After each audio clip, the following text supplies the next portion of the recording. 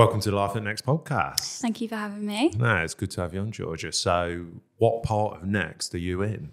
Uh, so I work on women's non-clothing um, on the licensed team as a trainee buyer. And what is non-clothing? It's It's- because it's quite internal Yeah, phrase, it's isn't it? um, so the shoes, nightwear, uh, bags, jewelry, accessories, um, lingerie, swim, beach. So Lots. yeah, a bit of everything to be honest. Yeah. Um, yeah.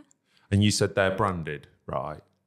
So the team I'm on is licensed. Licensing, Yeah, sorry, not branded. Because yeah, there's so- loads of different. Because yeah, Yeah, because a lot yeah. of people don't know we work with brands and you know all of that as well. So just explain that for, to me. So it's different to like brands where they um, think they just work with the brands, but we um, develop product for these brands that we work with. So it's like a kind of like a collaborative relationship. Um, we've obviously got like a team of experts who know all the technical things. So brands come to us and we basically um, develop product for them. You know, we've got all the right people that have years of experience of, you know, for example, swimwear and the best way to fit swimwear and the fabrics and the supply base. So we then develop that product for them.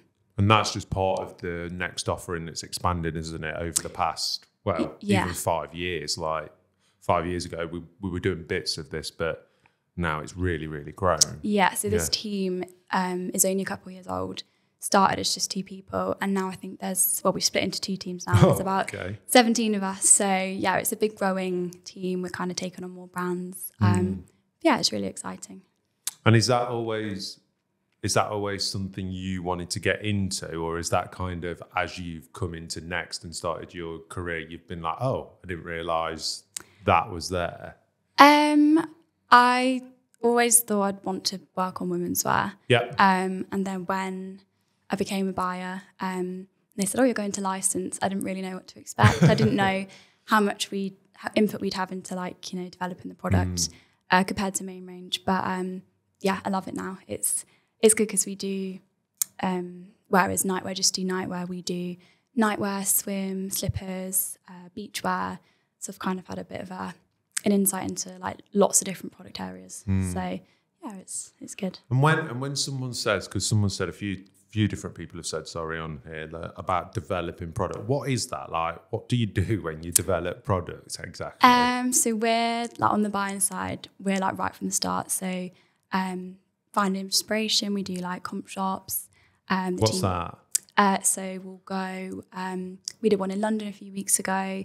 Um, the team are going to Paris next week. Nice. Um, just looking for like inspiration of like different fabrics or shapes or trends we might have um, could work into. Um, and then we, you know, take that inspiration and develop products basically for the brand. So we're looking at different fabrics, different colors. Um, yeah, just literally from the start, and then we're you know fitting the garments, um, making sure they fit correct. So it's literally from initial idea to the product, I guess. Yeah. And is buying and is buying something you've always wanted to do? Um, no. so I went to uni. I did psychology. Okay. um, Oh, which okay. I, I was going to do either that or fashion marketing, went for psychology, loved it, but always knew that that was where my real interest was. Um, always liked fashion. Um, and then I worked in store in NEC. And it's not uncommon, is it, as well, for people within buying, well, within product as we call it, to move around anyway. That Yeah. that happens a lot. So, like you say, you're on that team at the moment, but quite easily, if, like you say, you want to stay at next, so you want to progress to assistant, that could be in a totally different team. Yeah, Yeah. yeah, I think there's quite a, people tend to stay within Next, whether they move. I don't know if you've moved at all. Uh, yeah, a bit. yeah, quite a bit. Yeah, quite a bit. Yeah. Um, but it's nice that, you know, people do move, but people do stay within Next, which I think is, it's encouraging that people want to stay here, you know. What what what do you think that is? Because you know, you, you said you were in store, and how long were you in store for? Um, I was there for five years. Oh, right, So, so- alongside studies. Yeah. But um, yeah, quite a while. So this must be something that's attracting you to the brand generally. Then, yeah. Yeah. What do I you think, that is? Always loved working there. Um, but I think as I, from when I first started, um, you have to buy like uniform allowance in store. Yeah. And when I first started, it was like, oh God, would I wear any of this? Okay. And as as I, you know, just as I was starting to um, think about leaving and come to head office, it was like actually some of this product's quite cool. Yeah. And now I'm behind the scenes and seeing all the product we're, you know, planning for like next year. Um, I think it's been quite nice to see the way Next is changing, and I'm actually now a customer. Um, so that kind of makes me like, I don't know, it's exciting to be a part of and see that there's this kind of journey of the way Next is expanding to new customers. So I, I like being a part of that. I think it's cool. And that's a massive opportunity for us, isn't it? Yeah, Because I, I, know when you said that there, that resonates with me that you still get, even, even people, you know, up to my age or past my age, I don't think they realise the breadth or the variety or the fashion focused stuff we actually do. Yeah. Because I bet you get all the time from your friends, oh, where's that from? Yeah. Yeah. I'm like, it's actually next. Yeah, I'm trying next. to sell it and I'm like, it's next. Yeah. Like, but they, people don't, I guess, have the um, idea that, you know, there there is that product there for them. But I, you know, everything we do is so, we're so focused on trend and newness and it, there's such a push for that. Um, and we're always looking at catwalks and, you know, what's the big it trend. Um, so we are very fashion forward, which I think people are starting to pick up on. Yeah. Um, but it's just getting it out there that, you know, there's product for um, everyone. You know, there's a younger customer, but there's also maybe what you, your traditional next customer might have been before. Is there certain things that you've seen, even in your short time from store or even being here, that Next have pushed more of? Are they, in, in terms of fashion and, and trends, is there anything that you've seen that, like, oh, that's great that we've started doing that? I think it's like the um like the kind of like trends that like I kind of see on like TikTok, for Yeah. example. For example, um, there's some leopard print jeans which um, Next have done, and that was all over TikTok, and that was something that I was seeing a lot. And it's like Next have that, you know, it's the little kind of the trends that maybe like like me and my friends are wearing. You know, we've got that. Um, so that's something that I've kind of seen as um, next to doing more. You know, they're Mm. tapping into these trends that maybe they wouldn't have done before. And what and what's it what's it now been like? What what's it now been like going from that merch role? And it wasn't again because you didn't enjoy it. It was just purely because you were like, hang on a minute, there's there's a there's something missing from my career here. That's yeah, you wanted. To, what's been what's been the biggest change for you? Do you think since you've done Um, I think it was the thing I wanted to get involved in is like the product development side, like really being in the the nitty gritty and the detail of it. So whereas you are still with merch, you know, you're really involved in the range build, the selection, and you need to know the trends because you're you're buying the stock. Um, whereas with buying now, I'm in more of the like approving the fabrics and the colours and um, really getting in the detail of like little things like that you might not think of, like the trims, or we obviously do branded product and it's like little bits of like harded, uh, branded hardware and stuff that you might not think, but there's like so much that goes into it. Um, so that's kind of, I feel like I'm really in the product development side now, which which I love. And talk, talk me through the different stages of product development because it's not like you just have one meeting, is it? It's, No. It's a long, it's quite a long pros, process, and rightly so. But because I think a lot of people probably just think you're probably just sitting there, and go, yeah, we'll have some of that, we'll have some of that, but it's not that, is it? No, and I think when I was in store, I just you know stuff would be delivered, and I'd be like, oh, cool. Didn't know what went into it, and actually now I'm here. It's you know we're, um, I mean we're planning like a year ahead, so we're looking at now like July, and we're like you know okay what um, you know what inspiration have we got, um, what new things have we not tried? So there's that initial inspiration, and then it's you know designers draw up CADs. And then we're What's CAD? it's like like a drawing essentially of like the the item that we want. Okay. um, and then that gets briefed to suppliers and we get samples in um, we'll then range build them work with tech to kind of consider you know what fabrics do we want to use? Do we want to push more premium fabrics or do we want to look at more sustainable like more recycled fabrics?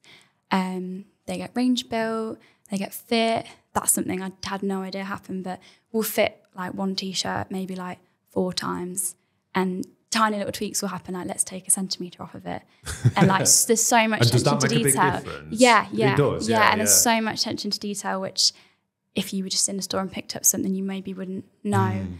Um, and then we have a selection meeting, sign off with our managers.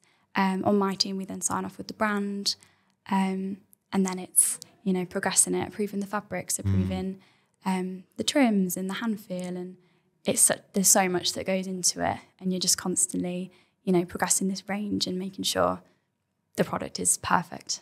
And what part of that do you, when you've been going through that, what part do you really love the most? What's parts that you've been like, oh, this is great. Like, I love a bit of this. Um, I love the range build stage. Okay, where, what's that then? So that so we've um, we've thought of ideas. We've got Yeah. the designers have brought CADs to the table. We might have samples from Hmm. suppliers, um, and then that's like right, what what product do we want to put in this range? So we do it um, by phase. So for example, we're looking at July 2025. Okay, what what do we want? Have we got um, a good balance in the range of a younger customer, an older customer? Have we got um, is there a new customer we're missing? We're considering, you know, what price point. Um, with our team, it's um, a bit more of a premium price point, but we're also considering is there that entry level price point? Have we got a mid ground price point? Um, what what fabrics are we missing? Can we work into new, you know, new textures, new um, embellishments, or ways we can elevate the product? So that's the real kind of essentially building the range um, part, which which I love, and then just seeing that kind of develop and eventually then go online. It's um it's rewarding. Yeah, like so much went into that, and and you see it sell, and you're like, oh, Yeah. Rewarding slash relief as well. Because I guess there's quite, Yeah. feels quite, you know, to, to think about July, like now, uh, is great because obviously we have to do that to get the product and Yeah. get it made. But it's obviously you. I guess you're always you've got to. I guess you've got to do a lot of research and then you've got to trust. You've got to be really into it and understand it because, like you say, you can't measure a trend or anything like that. Because if you do, it's a bit of a oh damn, we missed that opportunity. Yeah. yeah, yeah. And we have like we have held options where we can get trends in a bit quicker. Okay, so that's still available. yeah, Yeah. but yeah, we have to really make sure we're choosing the right stuff for the right time, the right time of year. Mm. For example, if it's summer or if it's uh, we do a lot of nightwear in October, November's big for nightwear around Christmas. Okay. So it's just making sure we've got um, we've covered everything. Essentially, Mm. you've got to make sure you've got um, enough of everything. You know, we don't want to be like, oh, we've that we've missed that. So yeah. Yeah, and I know as well, speaking to, well, more merchandisers, they tell me all the time that it's so weather reactive as well sometimes. Yeah, Like, always in trade, it's like, oh, um, you know, we've had a good week. The weather's good. It's Yeah. always, always the weather. Yeah, the- you know, all the sun's out. Everyone's spending their money. Yeah. yeah, it's raining, old coats have come back at, yeah. yeah. umbrellas yeah. are doing great. yeah. and can you and can you remember like so how long have you been at the Enderby campus total then now? Uh, almost a year. Almost so started year. September last year. Nice. And and what's that? Not just you know in buying uh, merch and buying, but what's what's the whole experience been like coming to the Enderby campus, and how's that been like? Is there anything that stands out for you? Um, I think I've loved it. Um, loved it. Um, I um have had um quite a nice kind of.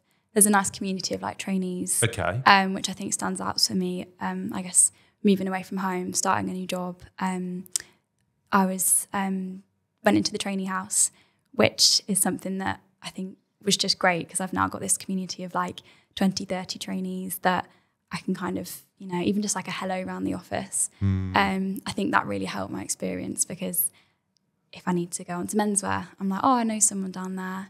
Um, so that's really stood out to me as I guess it made it less daunting coming to such a big. Didn't realize how big that office was. it's, it's big. yeah. Um, and then having that community of people in the same position as me, who I can ask questions that I might not want to ask my team. Hmm. Um, that's been, yeah, just such a great experience. And is that how, how's that? What happens in that community? Because I guess people are like, is it is it forced fun or is it natural or is it kind of? It, does Um, it feel like really like?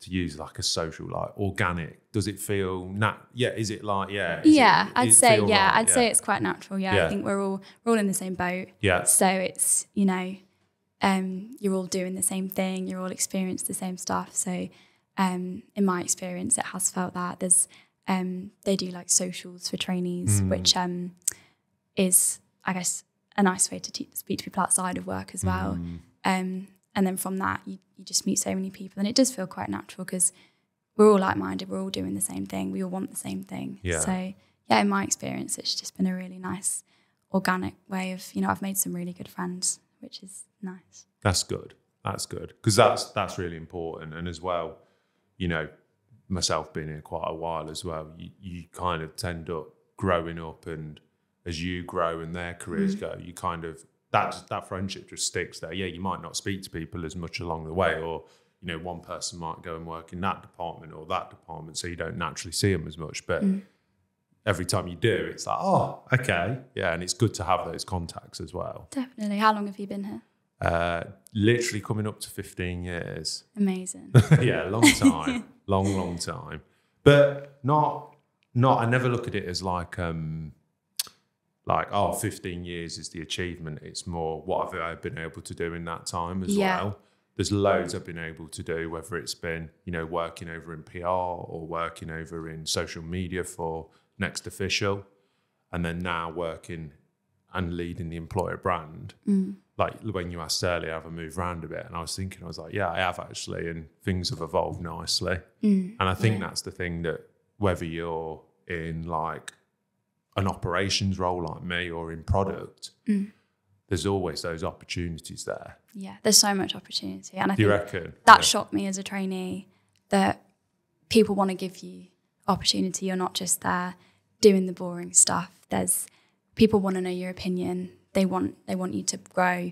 Um, my team were always pushing me to you know share your opinion and how can we push you to you know maybe present in a meeting or um, I've already been given like a little project of you know developing my own um, like style with a supplier and That's working good. on that and it's not like you're a trainee Hmm. it, you're just part of the team and you're given so many opportunities to grow which is that shocked not shocked me but I guess it's it was nice to know that you know there's all that opportunity to make your stamp on it just as much as someone who's a higher level than you Oh yeah, one hundred percent. Every pretty much, you know, everyone I work with, every manager and stuff, they don't want to be there like, oh, team, we've got to do this and we've got to. You need to do that. Mm. You know, I always say with my team, I'm like, well, tell me what's working. You know, tell me what's working for that demographic you're in. What do what should we be doing internally? How do we talk to people better? what should we be putting out on social media you know Yeah. to to attract people to the brand because like the clothing i think sometimes think oh next oh is that just stores it's not there's so much to it Yeah. um like you know this podcast people are probably like oh i didn't know that existed Yeah. either so yeah it's opportunities are everywhere and did that surprise you from was that there from day one yeah. Yeah. Literally from day one there's always been kind of a push for um you know what can you how can you like do do more? Um and yeah it kind of shocked me that it's not just uh um you're here to just be part of the team. It's you know um there's all this opportunity like it's you know take everything. And i think i've tried to do that like any opportunity. I'm like yeah like come on the podcast. I was like yeah okay. Um but yeah it's been good Good. And is the is the learning support along the way of the of the whole program because it is a really good program, isn't it? Is that what's that been like? um they do like training workshops Okay. which are good because you kind of get a obviously everyone's really busy day to day so you learn on the job but there's some things that you need to just sit down for three hours and really unpick and and learn stuff from but i think because people have been here for so long everyone knows everyone's so like knowledgeable so i think i learned so much from just the people i'm working with um ask them questions and everyone's willing to you know explain something to you or sit you down and for example talk about different fabric compositions and stuff you might not know. Um, but yeah, there's always, I feel like I'm always learning stuff from I think the people more than anything. Oh, really? Yeah. The people that are in your team and around. Yeah, you, and on my floor, um, Yeah. across different teams, um, people want you to to learn and want want to share their knowledge with you, which is nice. It's not like oh, I'm too busy. It's Hmm. it's like yeah, let's put time in and talk about. You know, we can explain that. Yeah, it's not. It's not like to use a really, really old reference. It's not like a Devil Wears Prada environment no, at all. no, is it? which I think people think, oh, you work in fashion. yeah, That's what it's like, but it's really not at all. It's such a um, such a welcoming environment. Like, I think one of the biggest things for me is like the social side of coming to the office, okay. which um, people I know that don't work here maybe work from home a lot, but I would hate that. I love coming in. It- There's such a nice social element, and Yeah, people want to have a chat to you and people want to um, you know people care about you and want to know you know what you're doing at the weekend or um, that's that's something i really love about being in the office and being in the office, just personally, do you find it?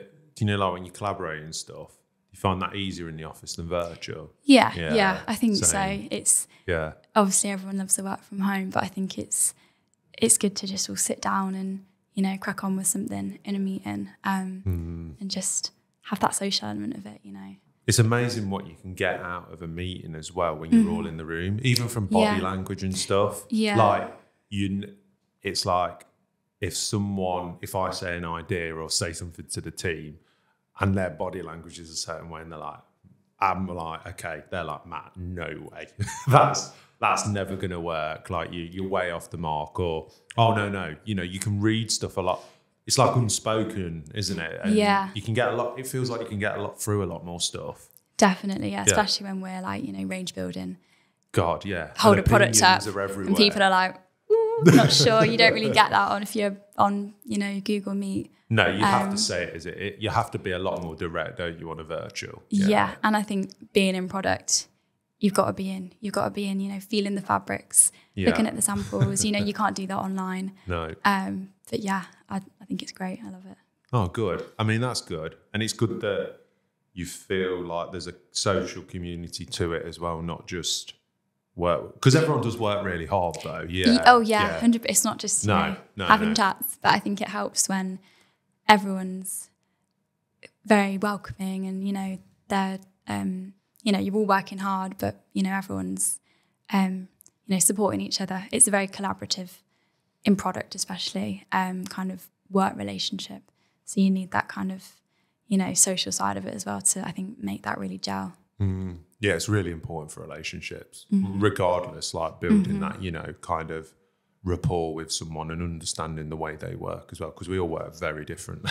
Yeah, definitely. And I think it's figuring out how we all work together, which I think took one thing from my psychology degree. It's like everyone works different, everyone learns different, you know, everyone communicates different. So, yeah, taking one thing from that. And sin, and if you look, if you think back to when you were doing your psychology mm-hmm. degree, and now you think, and when you were applying, and if you, you know, if someone's listening to this now, and they might be doing a psychology degree or a mm-hmm. marketing degree, or they might even actually be doing, they might like, no, I definitely want to work in fashion. Yeah. What sort of advice do you think you'd give them if they were looking to apply and come into next? I think if you want to be in fashion and you've not done fashion, don't let that put you off. Okay, because I think it put me off. And actually, um, especially when I was interviewing for buying, you know, I was speaking to buying managers and they were like, "Oh, I did maths," and it's like, "Oh, okay." Um, and now they're like buying managers. So I think don't let it put you off if you're passionate about it. I think that's the biggest thing. As long as you're passionate and you work hard, you've got drive, you want to succeed. That's all you need. I think it's them people skills and just a a love for fashion. You don't need, you know, whilst a fashion background is great, you know, I've come from psychology and, you know, I'm I think I'm doing okay. so yeah, just go for it. It's um as long as you're passionate about it and you will work hard, then yeah, you'll do great. Perfect. Well, I think that's a really great place to end. I appreciate you coming on and giving Thank us you for me. insight. No, no, it's been great, and um, yeah, I look forward to see where you go with your career next, and Yeah, yeah, what too. happens. Yeah, but thanks for coming on, Georgia. Thank you so much. Thank you for having me.